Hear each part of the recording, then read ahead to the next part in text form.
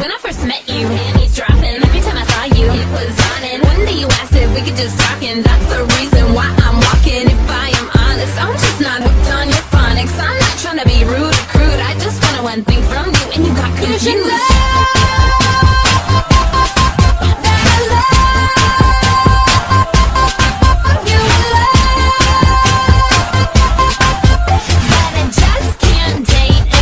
with the badge. When we fell